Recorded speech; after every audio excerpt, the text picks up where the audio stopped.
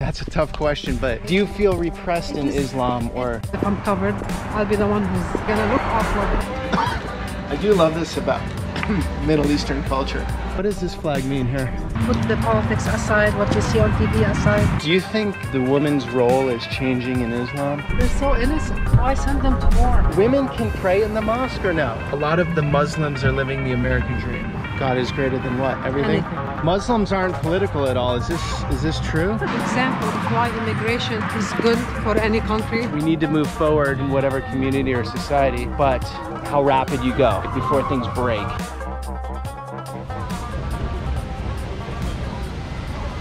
Good morning guys, here in beautiful downtown Detroit. But today's video is about Muslim women.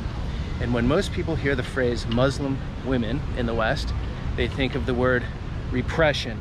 I've spent a lot of time in the Middle East, and I can say from my experience that is true for many Muslim women, and it is untrue for others. So today we have the great privilege and honor to meet a local Muslim woman here in the USA who's agreed to answer all my questions, open us up into her world, and perhaps teach us a thing or two. Super excited for this one. Let's do it.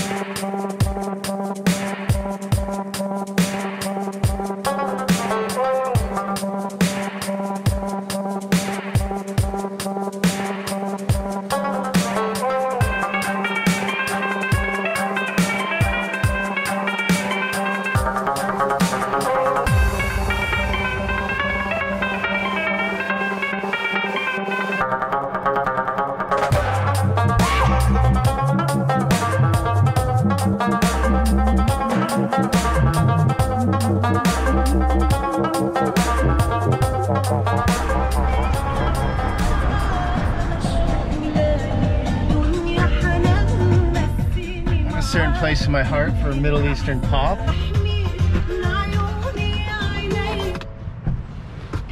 Okay, Rola, we meet. Nice to meet you. Nice to meet you too. Is it hand on heart or handshake? No, we, we can, whatever. Rola, you're really embracing the USA with this pickup truck, huh? We got it because of the gym. We opened up a gym just a year ago, right around the you pandemic. opened up a gym. Yes, F45, functional training, a boutique gym, and we got the truck to just help us, like, you know, haul stuff back and forth. And Okay. I love the F150. I'll finish it up on the headscarf, but it's just the question I get all the time. When I made my videos in the Middle East, people would always ask me. Yes. In the West, it's a bit of a mystery to all of us. Yes. So, in the very the, the very simple way of saying it is, it's a preference.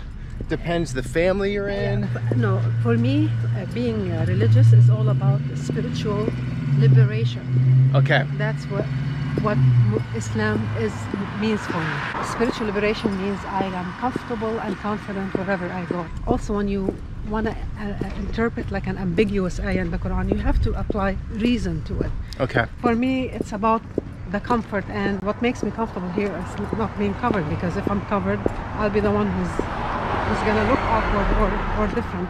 Were you Versus- covered? Sorry. in Qatar, no, I dressed up the same way in Qatar when I lived there. Even Okay. in Kuwait, where I grew up, I was never covered.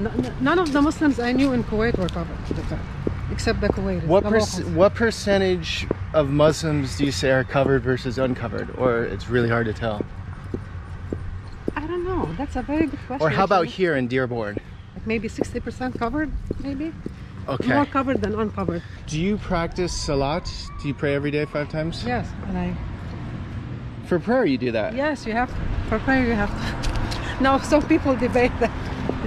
How do you feel being Muslim in the USA? I feel great. well, I lived all my life in, in uh, Michigan. I mean, all my all my U.S. life in Michigan. Right. So here it's pretty. I've never experienced racism. That's my personal experience. Okay. Uh, maybe Do you think it's because, I'm not covered? Maybe. Don't Right, know. that's what I was but, gonna ask. Uh, people here are very friendly. You're, uh, nobody cares who you are, what you are, as long as you're, you know, a decent human being. At the end of the day, that not, don't do any harm to others, and you mind your own business. Right. From what I'm seeing, at least in this neighborhood, Muslims who are coming here are doing quite well. They're succeeding Yes, to some degree. Definitely. I, if there is any example of why immigration is good for any country, it's Dearborn because Dearborn was struggling, you know, talking 40 years ago. Okay. And then the Lebanese immigrants who came and the Arab immigrants who came, those immigrants are value freedom, value human rights, uh, value the opportunities that this country has to offer. So nobody's sat home and did nothing. Everybody opened up a business and you know made money and educated their kids.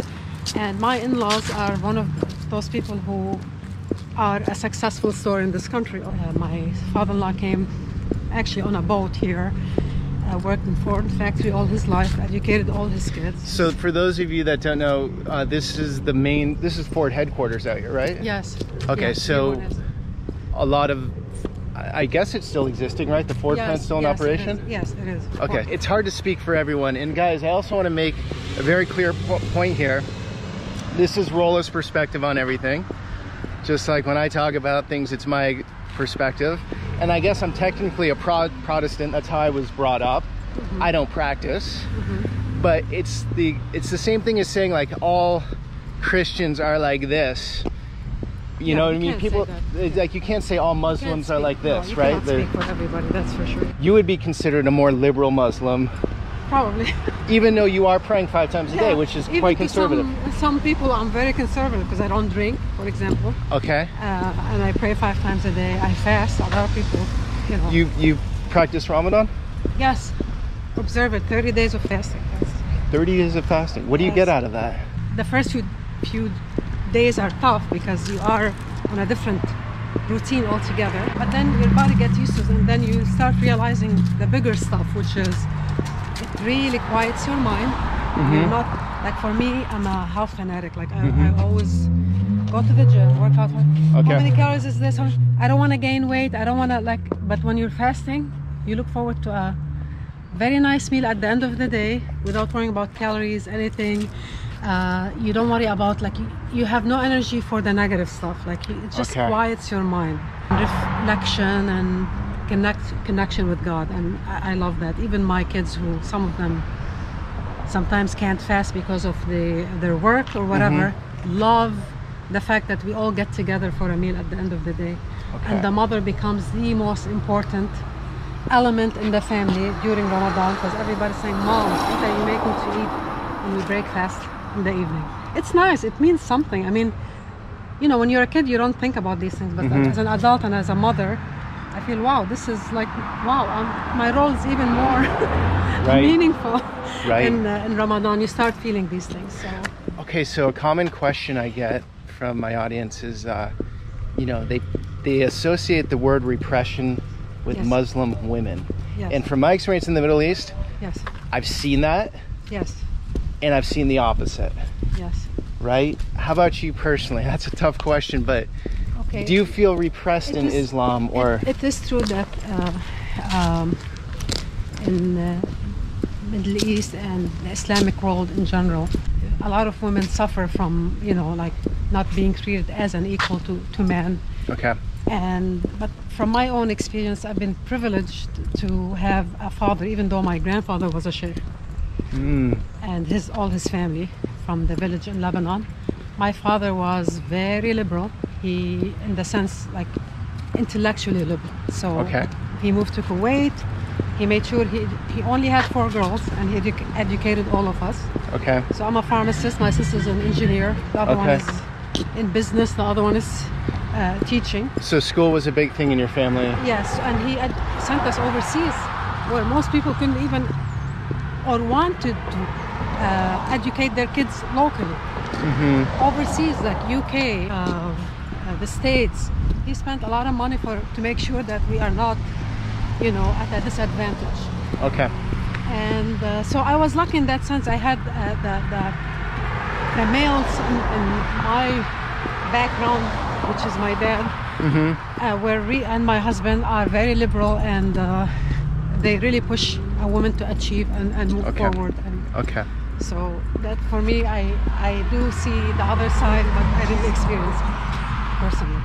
Yeah, I've seen both sides. I've seen in Saudi both repression, but I've also seen at home a lot of the women are running the show. Yes, behind I'm, the closed doors. That's I'm what sorry, I saw. But that's. I mean, that's everywhere, right? Universal. I haven't represented this uh, delicious dessert yet. It's a date what? Uh, it's a. It's called the uh, Mad, which is uh, Semolina date cake. Okay. Is it good? Very nice. All right. I got to get this out of my hand. For those of you not too familiar familiar with the Muslim world, it's a huge swath of the globe. Indonesia being the most populous Muslim country. Uh-huh.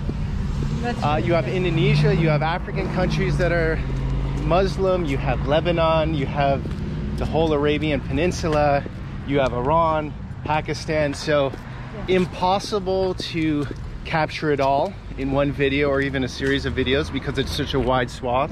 But this is just a little view and angle in to an America most of us don't know, I gotta say.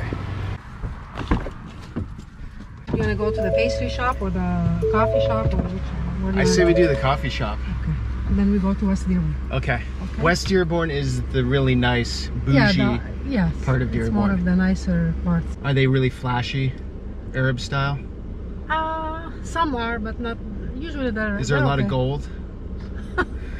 I think traveling is so important. I think for people because we are born, our life experiences uh, make us uh, get into a mindset that it's not easy to break or change if if your environment is what you've grown up into and and never experienced anything else.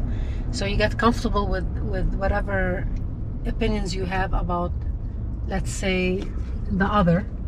But Right. then with traveling, uh, it just really opens up your horizon and, and it makes you uh, get like into a much bigger picture. Do you think there's an advantage sometimes coming from a different place? Sometimes it is. Immigrating here? Yes, because you're not naturally comfortable within this new place. So you want to make your life worthwhile by like, you know, pushing yourself and also appreciating the advantages of uh, the new what the new place has to offer versus what made you leave the old place. Mhm. So you take those advantages into hand and you just apply them into your, you know, work ethic. And most immigrants really do very well flourish in, in the United States. That's what makes this country so, so uh, attractive to many. Do you think that's still the story? You think all these opportunities I are, are think still it is here? people who, who work hard and, and are driven. They will find, uh, they will find a good place and a good It- future for them. It's much harder in Lebanon. very hard. It's a disaster right now in, in Lebanon. Like the economic situation, the Le- Lebanese pound, the lira, now it's like I don't know, eighteen thousand. It was uh, fifteen hundred per dollar. Now it's eighteen thousand per dollar. So the retail prices are like skyrocketing while people's salaries are still the same. So like I don't know how people are making it. You can see all the influence, all the Yeah. Muslim, the a lot of the politicians, obviously the script on a lot of these signs. So I, I tell my people that don't know much about Islam, Shia is like Shia and Sunni. Yes. and it's almost like Catholicism and Protestantism. Different, but basically two sects. The religion to two sects. It's, it's, it's It more had of a, fork. It's more of a political difference than it started as a political difference. okay, things start like being added and subtracted over time. So, okay. but pretty much it's a political difference more than anything. If you had to pinpoint that difference, Do they get along no Yes, problem? Nobody like has an issue. You know what I find to be true a lot of times in the world there could be issues say between Pakistan and India or people practicing Shia versus Sunni Yeah. and there might be tension in those places but when they come to the states they sort of leave that behind. Is that fair to say or I think so. Yes, I think so because at the end of the day, when you are faced with a much bigger opportunity than and, and you have little time for other things, you just focus on. Plus, you see the world from a more from a wi- wider viewpoint. So you you you deal with a lot of people who are from different walks of life. So you, start looking at those little problems as little problems. Right, right. So you have when you come here, you have way more in common than you did before. Yes, of course. Okay. And then you appreciate that you speak the same language. You pretty much uh, Eat the same come from the same culture. Uh, you don't have to explain how your name is pronounced. You listen to Najwa Karam on the weekends. Here we go, Najwa Khan.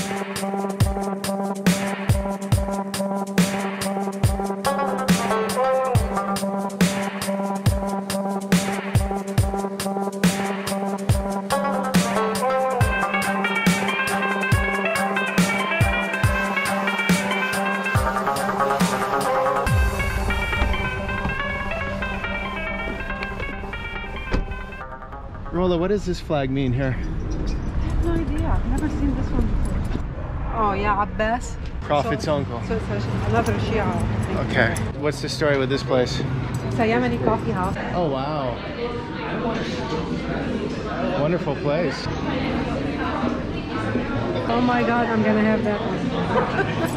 I love pastries. Do you like honey with your coffee? Like I don't even latte? drink coffee. I wish I did. I drink tea. Do you think they Okay, tea. have Yeah, maybe we'll have tea. tea? Tea. Okay. Look how beautiful the honeycomb. What's inside of that? Can you explain? one I just love how it looks. I I, I tried it. This one is like and a I- bread with cream cheese inside. We heat it up and we pour honey on top. Wait, what do they say? That's a poem? Yeah, Bunni al-Yaman ya Dura, which means like this is the Yemeni coffee, like gems.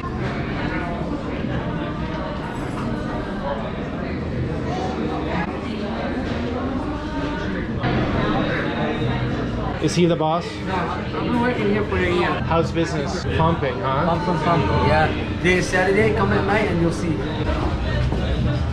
Do you ever feel um, misrepresented or misunderstood? I mean, what from what you hear on TV, it's like yeah, Mu- Muslims and terrorists or like Okay, so break that down. Actually, sorry, I'm sorry to interrupt, but that's a question I always get. I forgot to ask. People associate Islam with terrorism. yes. What percentage would you say have that mentality in Islam? the terrorist mentality. I've never met Yeah. any terrorists, to be honest with you, except on TV. so I think it's just blown out of proportion because I don't know. It's, I think it's uh, the, the, I don't know. The media I think likes to play this up. I've never ever met uh, uh, one terrorist person in my life. Okay. Uh, so, none of these people walking in you would say are, are No. profiled as No, terrorists. No. But to be Most fair, people here are like, uh, I mean, the people I met are grateful to be here, are happy to be here, are doing well for themselves, uh, and they love this country. To be honest, they love this country. yes, You can say that with, with 100% conviction. yes, These people probably, because they're all doing well, yes. they're going to nice coffee shops. I mean, even the people who are not doing well, they know they would be worse off being back home.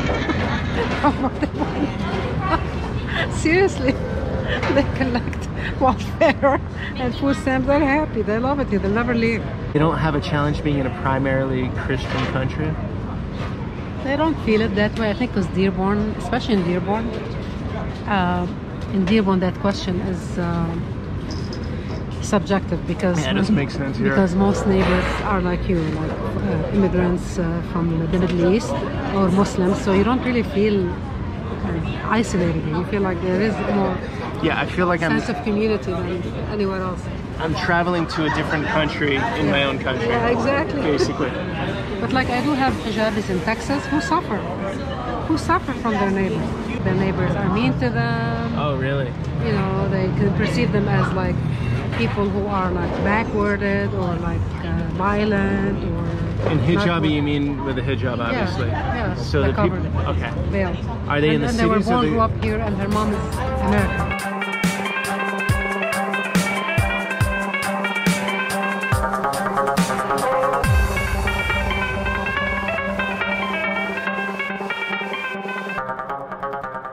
This is one of the nicer streets in Dearborn, Yes. or one of the nicer neighborhoods. Yeah.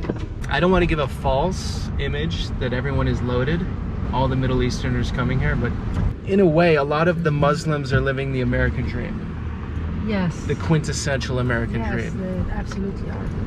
Oh, I have a lot of uh, friends who got married at like 19, 18, 19 uh, to uh, from Lebanon and came here, and after two kids went back to school.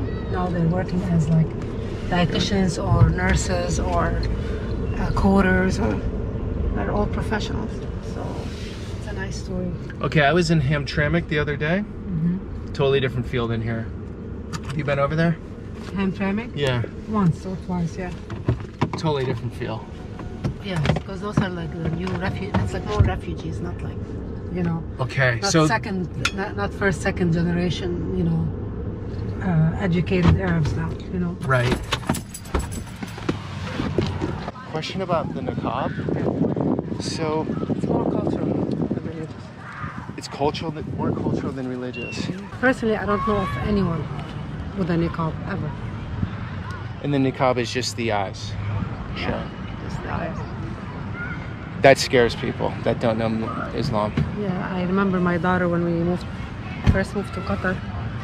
She saw this lady with niqab, and she was uh, six years old. And the lady came up to her, she's like, "Oh, ya hlela," like she, you know, how sweet. She's like frowning at her like this, and you stay away from me. Like, I don't know you. You're like, Okay. But An ninja or you, but the what's interesting is you, if we're gonna label Muslim, Muslim women, you're a Muslim woman, woman, she's a Muslim woman. Yeah. But you would more likely hang out with uh, a more secular Jewish person than Of her, course, Yeah. but you're Muslim. yeah.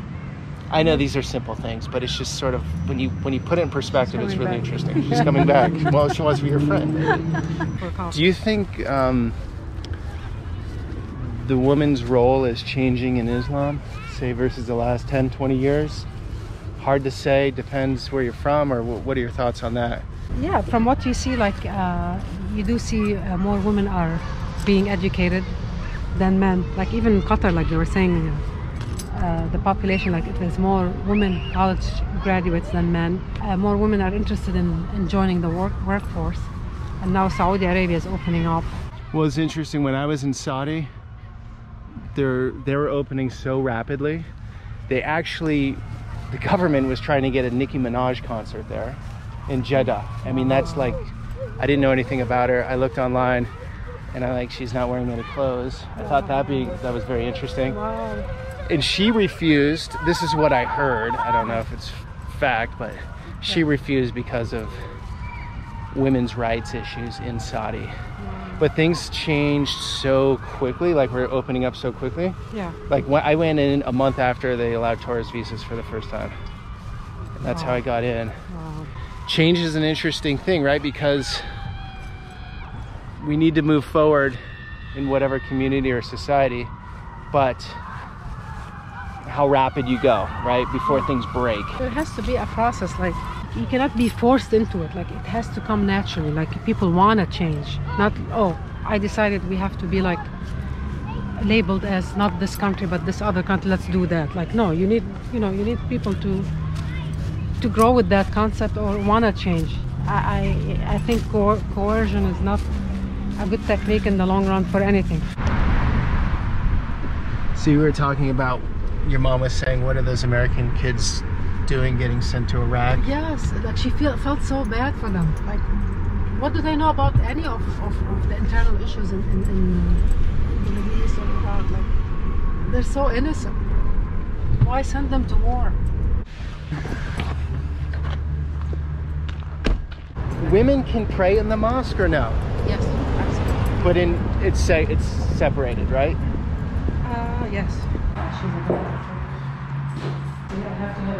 You can, you can go in and. You have to have a head cover. Do you want to go in? I don't have one. Oh, you don't have one. Okay. How does that feel?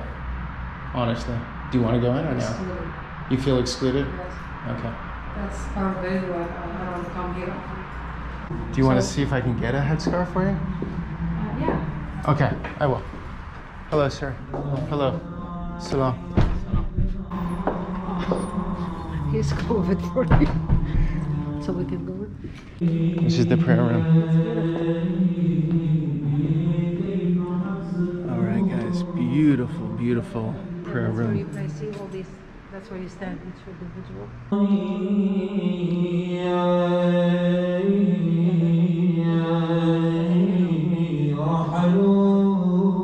Funeral.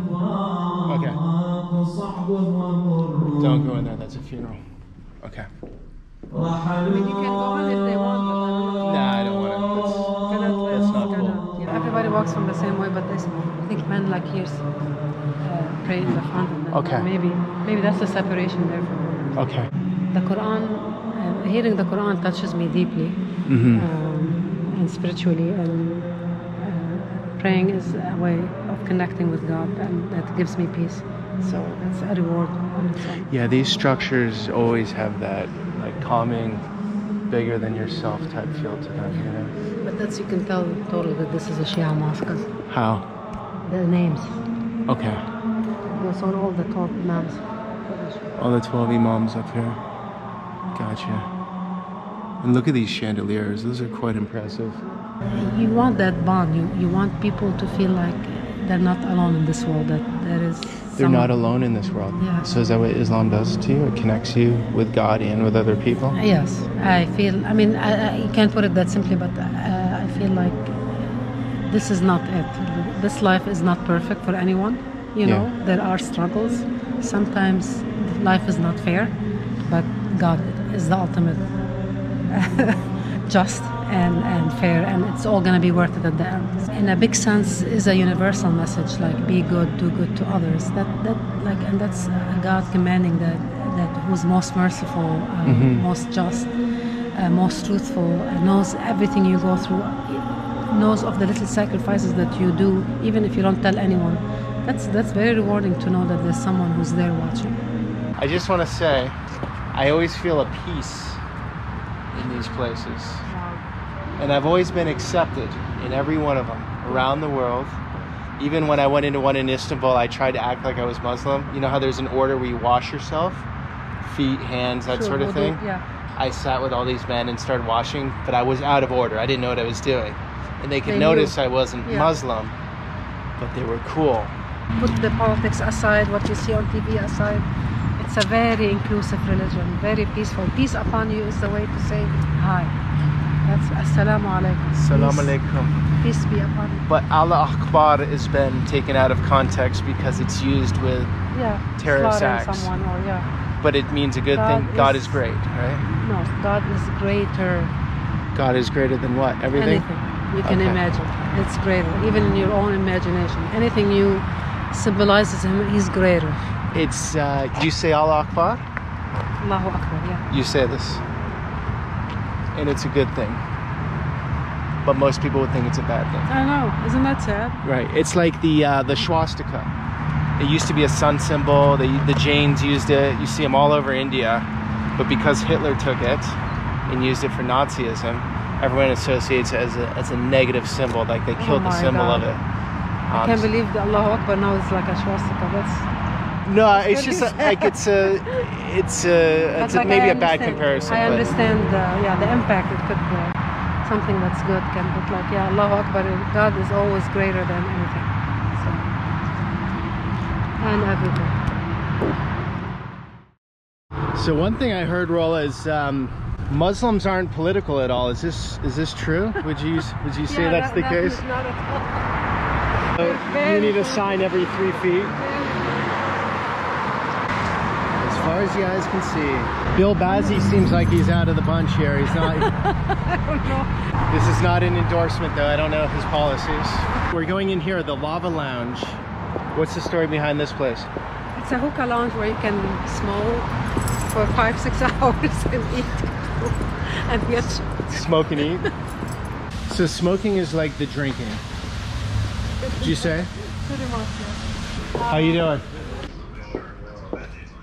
In a few hours, this is a full theater out here. Full house. Are you employee of the month? No, your head server. Okay. And he was saying, the manager was saying, I couldn't handle the non-fruity hookah, but you think I can? Yeah. Okay, I'll do that then. That's my husband. How often do you smoke? Uh, once a week. Once a week. Okay. I have to have him sit here because he's not smoke. He doesn't smoke shisha. He doesn't smoke. He smokes cigarettes. How you doing? Hi, Donald. Nice to meet Peter. you. Nice to meet Donald. You. Yeah. Nice to meet you. This is the first of the campaign. I know, that's I've what- never seen the campaign. We went and the guy who's probably going to win mayor will be the youngest mayor ever in the city. Of How old? Dearborn. 31, I think. Oh wow, And- Muslim guy. Yeah, yeah. It's just really. Is that Abdullah? Yeah, You're saying Muslims want more representation here yeah. in politics. What are the issues? Say the number one or two issues that they really want to push forward. Well, before you could say that most Muslims were Democrats and Arabs, not just Muslims, but Arabs were Democrats and liberal. Now it's far more nuanced.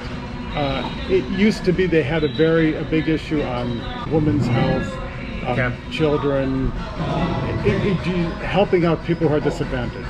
Okay, and Israel Palestine is a big issue, helping out the Palestinians. Now, their issues are the typical American issues, which are lower taxes, less regulation. Um, they do want national health care. Like there's, it's, it's much more nuanced than it used to be. It's like a fusion from both parties. Absolutely. And- And that's always what I've said is the biggest advantage of America. It attracts the people willing to forget about the past, to let go of the past. They're influenced by it, but they don't, they're not dictated by it, not ruled by it. And that's the biggest advantage America has, I think. That's a good So, point. so would you would you consider yourself an average Muslim husband and wife in Dearborn? Uh, you know, honestly, yes, because I don't know if there is an average anymore. Like I know all of my friends, like I think we do switch parties as we call it. Because like I'll have friends who jokingly say, "Are we Democrats now?" and then jokingly say, "Can we become Republicans again?" And it's it really goes back and forth. So I think we are because I think there is no more typical. I think we are typical. There's no more typical Muslim in America, would you say? I, I think so. I, I don't think there is a typical Muslim in America anymore. Okay. I think they're It's- very integrated into the culture. We were walking by some ladies with a niqab today. Yeah. Both Muslim women, but totally different. Yes, absolutely. And uh, that's what I try to bring across in these videos, the nuance. All right. All right. So is this a pretty powerful one here? Yes, it is. Explain that again. So I, I thought, why the to-go stuff? Okay, so For I legal understand reasons. it, Okay. I believe restaurants in most states can't serve food and alcohol or, or beverages and have smoking. But you can have a smoking lounge. So technically what we did legally, as I understand it, we're here and we're buying shisha and smoking. And then we've purchased from next door food, beverages, and they deliver it here. It's Yeah, like because the kitchen is separate. So- like it's a separate Okay, so we have the we have the shisha. Obviously, we're ready to Yeah. smoke, Yeah. and then our to-go beverages, and, And- we're legal. Yeah. And even I the feel much So we we can can now. go grab a Cinnabon and bring it in here. So- So we're, we, we're having hummus, uh, and uh, baba ganoush, tabbouleh, and some pita bread, and we're waiting for the kebab and rice to come. In a to-go baggie. You know, to go Yeah. back. I wouldn't be able to handle the, the double mint, right? And I'm, I'm sort of handling it, Yeah, but uh, yeah, I have a great. little lightheadedness going on, a little high. Probably that- eat something. Baba ganoush. That's that's Israeli. That's Jewish, right? Or is that No, taboo to that's- say that? That's, that's Middle Eastern. I just start a war with them. okay, it's We've it's led- middle it's Middle Eastern. That's what we'll call yeah. it. I do love this about Middle Eastern culture. Oh my God. This this yeah. whole situation. said. It's the it's the replacement for drinking, right? Yeah, and but It is. it's, it creates like socialization over two or three hours. Where you're talking business, politics. People are cutting deals. to talk about the new opportunities out there.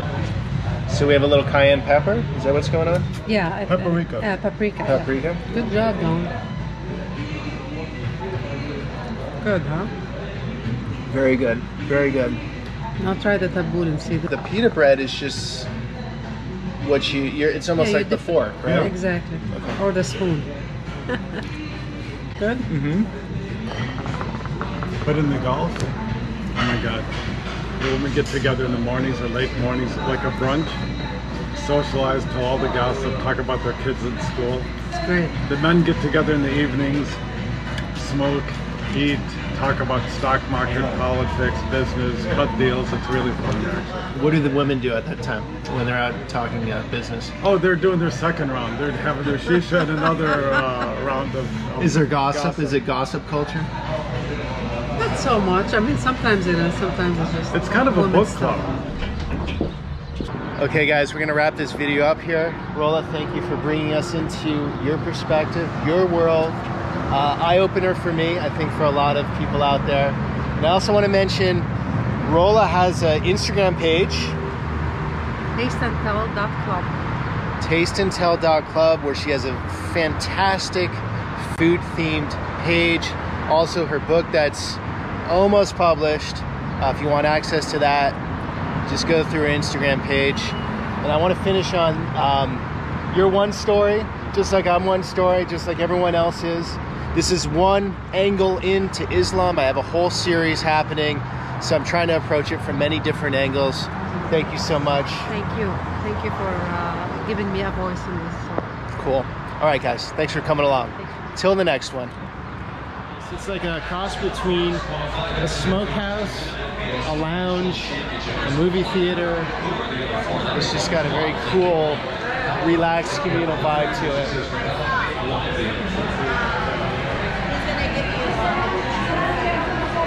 Habibi, Habibi. Your name? Ali. Ali.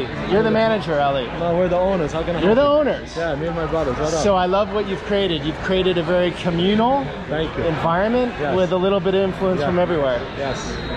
Did you taste the food yet? Yeah, it's great. Beautiful. Loved it. No country in the world let you succeed like America. You can be a president of this country if you're born here. If you're not born here, then you can be a senator or a congressman. That's how fair this country is. It's the greatest thing. I love I love your detail. What's your name? Yeah, Peter. Peter, You even have rose petals on the way to the bathroom. my brother, he throws rolls all the way on. This is your brother's doing. Yeah. Take it. Former professional He's doing, boxer. he's doing a movie about Islamic in America. That's why he says so. What are we doing? That's my professional. He became professional boxing. He was called the Iron Sheik. Khalil the Iron. boxing. I got beat up too much and I quit. All right, guys. I'm just going to show this cool detail Yeah, yeah, you have. Help yourself. I mean, who does this? Rose petals to the bathroom.